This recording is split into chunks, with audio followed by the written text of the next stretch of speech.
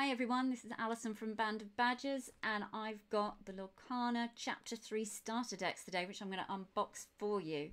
So this is the third set into the Inklands, and with this one, Chapter 3, they've given us two starter decks. Uh, they did the same thing with Floodborn, um, whereas with Chapter 1, they actually gave us three starter decks, so I'm not sure why we're now just getting two each run because I don't know if anyone else is out there playing it. Um, we've actually played it with more than two players and it, it's quite a fun way to put the game together. But these are the two new sets.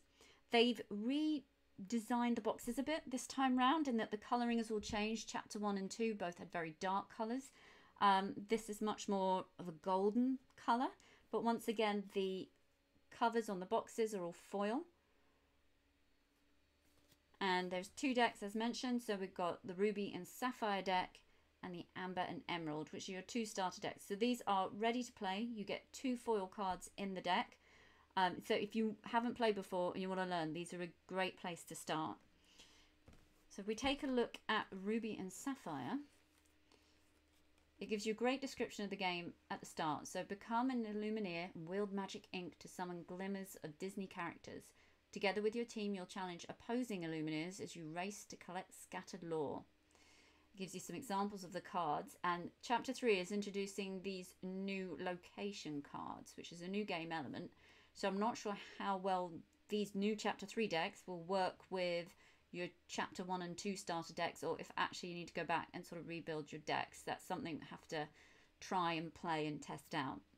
So this first deck, the Ruby and Sapphire, has plenty of pluck uh, so get ready to ruffle feathers from Motunui to Agrabah. Fearless Ruby glimmers like Moana.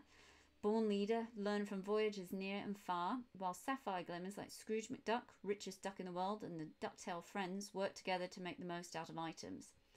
And these starter decks do have everything you need to get playing. So if you haven't played before, do pick these up.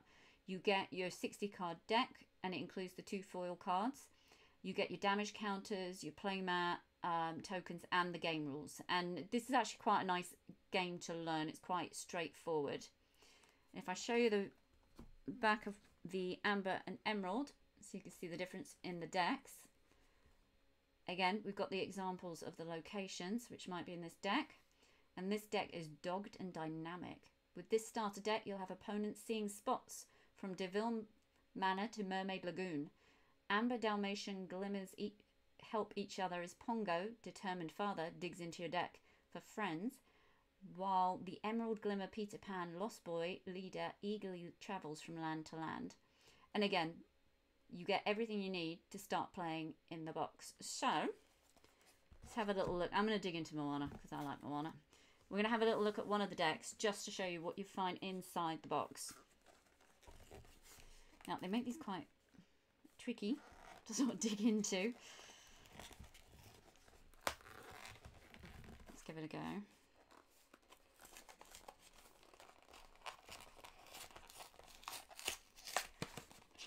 There we go. Gone in through the side. Right. So everything's really nicely secured inside and it just slides out as the deck's got left behind. So inside your box you will find your deck. That's your 60 card deck. And you get this piece of cardboard that comes out and this has got your damage counters. This is your lore marker, and you've got some more counters here. So those are all on the piece of cardboard. You get an extra pack. So as well as your 60 card deck, you get an extra pack to open to get you started off with trying to create your own decks. You get the booklet, which has got the quick start rules in it. And definitely from the previous versions, these do give you everything you need to get started.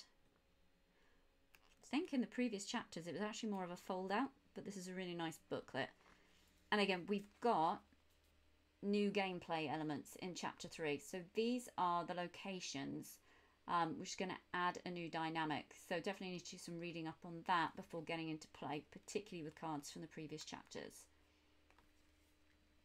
And there you go, there's your quick start for while you're playing. And then this is your playmat. And again, this is a different colour to the previous chapter, which was quite dark. So this is new colouring to match chapter 3. So if I lay that down, you've got your space for your deck, your discard pile, your cards in play, your inkwell, and your lore counter. And it's the same both sides. You can play to the left or to the right, whichever suits you. But it's really handy to have that in. So when you go and play, you can take that with you. So if we come back into this, this will be the 60 card deck. So we're going to open this up and just see what foils look like. The only thing you don't get in these um, starter decks, which you can pick up separately, I believe they've done some new ones for chapter 3, they did for chapter 1 and 2, is deck boxes. And it's the only thing they don't get you. So if you haven't picked up the um, Trove, you've got to think about where you're going to store your cards. You're going to have to get some sort of deck box for them because once they're open, obviously it's very easy to mess up your deck and lose them. But on the top here, we've got the foil card, which hopefully is coming out well on the screen. There's Moana. She's foil. And there's the other one, which is Scrooge McDuck. Okay, and then if we take a little swipe through these, you can see you will get repeat characters. as with a lot of card games, that's how the decks are built. So you need to give them a good shuffle before you start. But you've got a great range of characters to play with in here. Oh, that's nice. It's a nice action, this Dragonfire. Voyage. Let's see. Ah, here we go. Here's one of the new ones. So this is the locations. We've got Agrabah. And the locations all have uh, specific effects that are, take place while they're in play. Um, so this one, I don't think actually says on it. I need to look up how these new cards work. They've obviously got their own effects on there. We've got a couple of Agrabah. Ah, so they must come in and out of play. And I swipe through the rest of these characters. Oh, there's Flounder.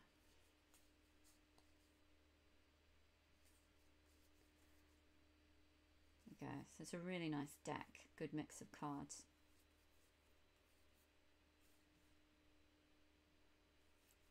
Go. Ah, here we go. Another location. Motunui. So this one does have an effect written on it. Reincarnation. Whenever a character is banished while here, you may put that card into your inkwell face down and exerted. So that could be a very powerful action.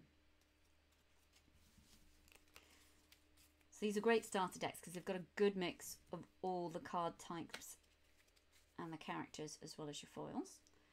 And then you also get your extra pack to open, which is really nice if you want to start building your own decks. Let's have a look, see what we found in this one. Okay, look, straight on the back there, information on the new rules. We go. So these some really nice new cards for chapter three. Oh, there we go. There's another. There's another location. We've got Deville Manor, Cruella's estate. Ah, Neverland.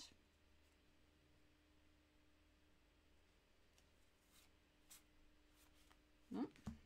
The Bayou. Okay, this one has an effect on it. Show me the way. Whenever a character quests while here, you may draw a card, then choose and discard a card. Swoop, there's Peter. And the foil in this pack is a Dalmatian puppy. And then as mentioned in the back, as well as being in the, it'll be in the quick start rules for this chapter 3 starter um, starter deck as well in the packs you'll also get information on how the locations work and there's also a new moving damage rule that's been introduced so if you're going to play these even if you've played chapter 1 and 2 already do read up on all the new rules and the new locations and how that affects the game and you might have to think about whether or not you need to rebuild any decks you might have created from the previous sets so that is the starter decks. Thank you so much for joining me today. Um, I'm going to have a dig through the other deck and some other packs. And if we find anything rare, we'll share that up with you. But thank you so much for joining me and see you in the next video. Bye.